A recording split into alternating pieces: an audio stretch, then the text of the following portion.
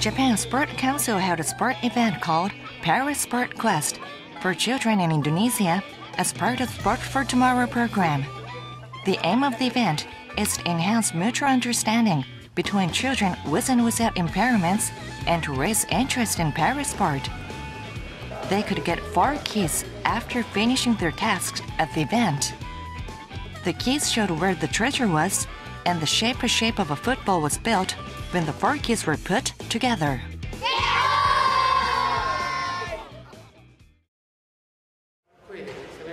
Before the event, a training session was conducted for the teachers to enable them to organize event by themselves. 13 teachers from a blind school and regular primary schools participated in the training. うん十年前に考えて子供の気持ちに なってえちょっとやってみてください Mr. Teranishi, Japanese teacher, demonstrated the four games as an icebreaker so that people with and without visual impairment could enjoy together.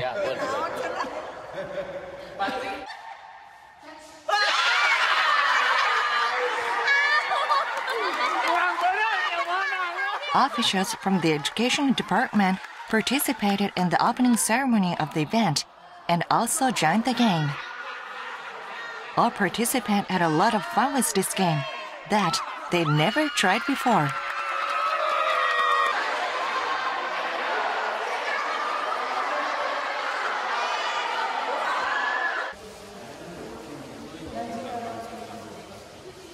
This time, teachers will be facilitating the game.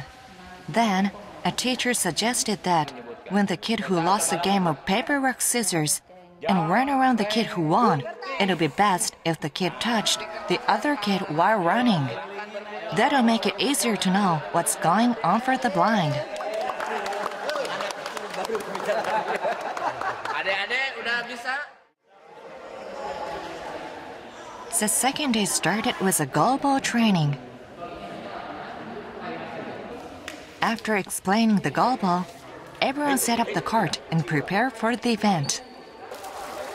The labels that show the location of the treasure were made in Braille. These were labeled in the back of four keys. This way, children who can read Braille would be able to do well. After making the cart, they put on eye masks called eye shade and tried out goalball with the same procedure as a real event.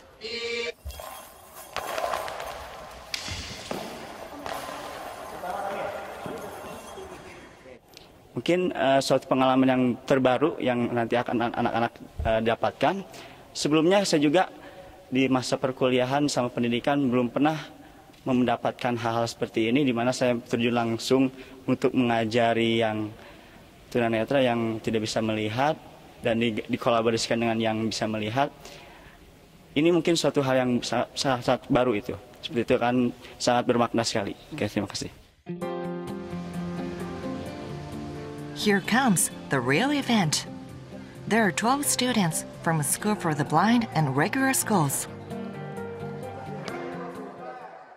Um, saya sih senang juga bertemu dengan teman-teman baru dan mungkin kalau misalnya saya uh, apa tidak mengikuti gorbal itu mungkin saya tidak akan bertemu dengan teman-teman baru saya. Ya deg-degan Ya, tapi biasa-biasa aja. Teachers plays a role of teachers seriously in front of their students. Their attitude changed from when they had fun with the games at the training. A teacher from a regular school suggested that a child who lost paper, rock, scissors should dance around the child who won.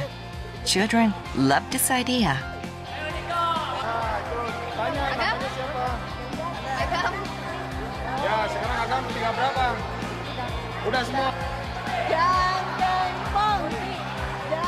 After the game, each group played paper, rock, scissors against teachers to win the key. Some groups had already started reading the hint in Braille.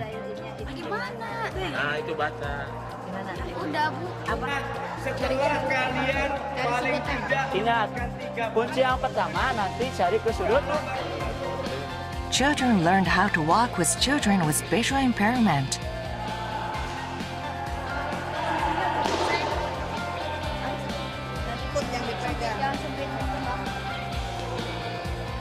The teachers made obstacles so that children worked together to avoid those.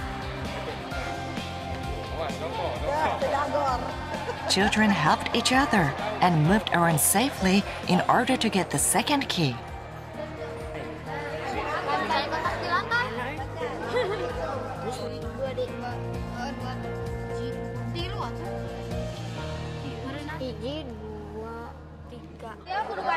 After the icebreaker game, they finally got to try goalball, which is an official Paralympic sport. The children put on eye shade to have the same condition and they enjoy the goalball game.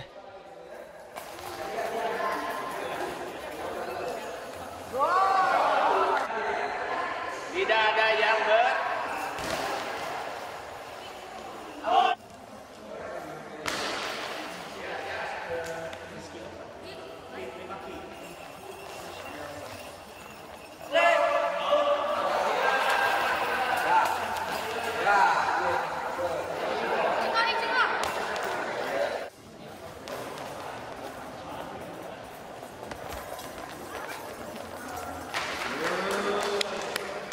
After the game, they received the third key. Satu lagi. potongannya tidak boleh terbuka Berarti yang tadi temukan, temukanlah kotak, kotak. They could get the last key when they hit the target with a ball.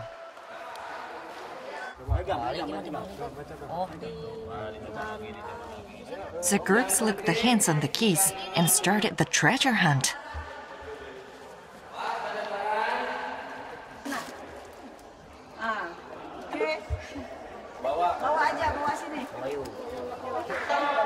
The treasure was shared among group members.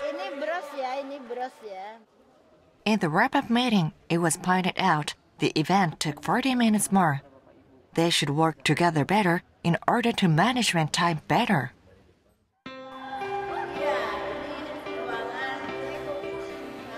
On the second day, new children joined the event. 12 students came from the blind school, and the same number of students came from regular schools.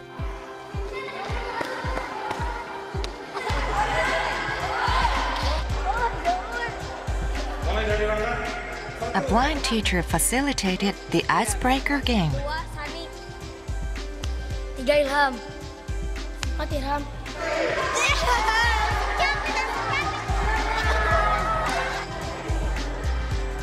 Teachers put chairs as additional obstacles for the games in which children move in pairs.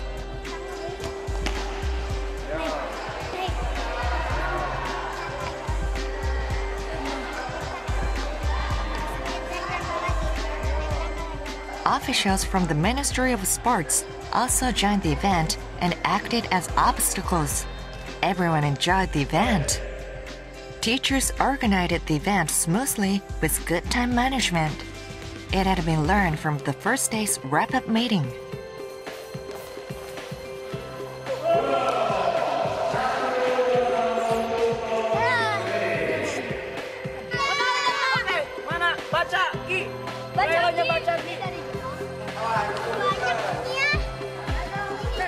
The children found the treasure after using the hint on the keys. Some student who couldn't find the treasure went out the hole, and teachers had to stop them in a hurry.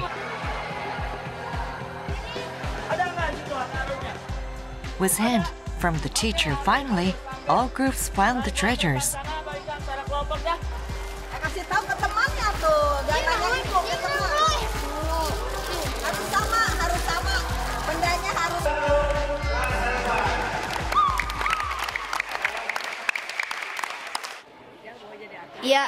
Pengen jadi atlet. Atlet goalball. Hmm, pengen pengen sekali saya bermain di Jepang. Menurut adik-adik, Goalball. Goalball. Gol boleh. Kenapa?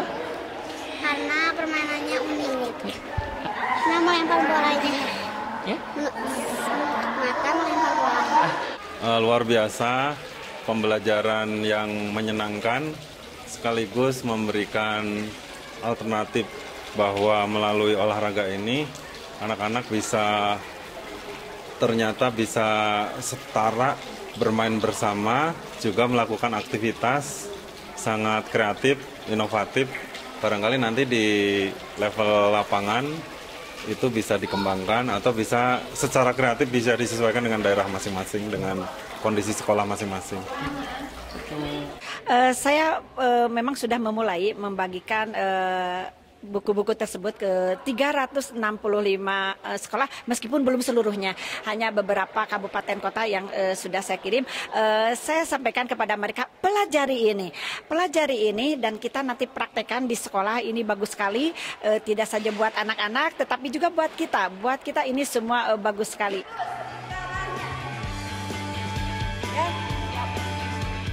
Children have gained a precious experience, new friends, and dreams through the event. These are more important than the treasure they found. These children and teachers will spread the power of sport.